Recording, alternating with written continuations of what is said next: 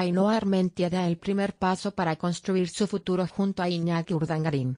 La analista contable continúa viviendo en Vitoria.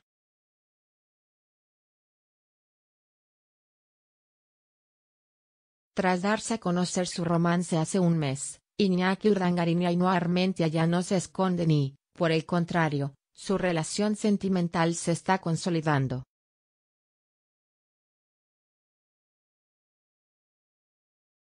Si bien el idilio generó todo tipo de comentarios, y supuso lo peor para los seres más queridos de los tortolitos, es ahora cuando presumen de noviazgo con citas y clases de yoga para dos.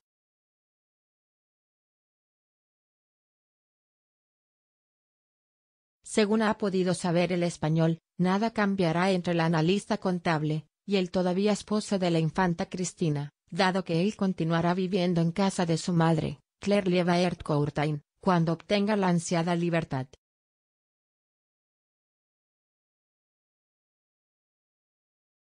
Por su parte, la empleada del despacho de abogados Simas, y asociado seguirá en Vitoria para estar cerca de sus dos hijos en común con Manuel Rubis y, por supuesto, de su nuevo amor.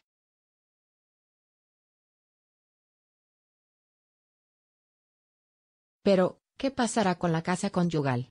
¿Quién se quedará en ella?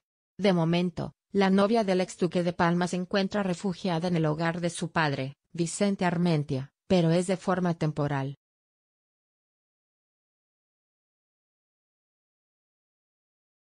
De acuerdo al medio citado, allegados al exmatrimonio aseguran que ellos compaginan esta nueva etapa con su vida familiar por el bienestar de sus descendientes.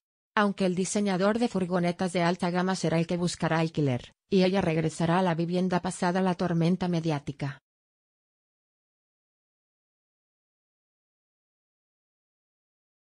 Para él, fue un impacto grande todo eso.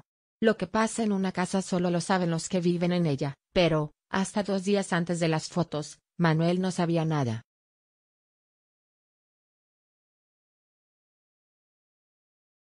De esta manera, el periódico en cuestión señala que muy pronto podremos ver nuevamente a Ainhoa Armentia en la vivienda que compró con su ahora ex marido en 2016, y nadie se atreve a descartar una posible convivencia futura con Iñaki Urdangarín.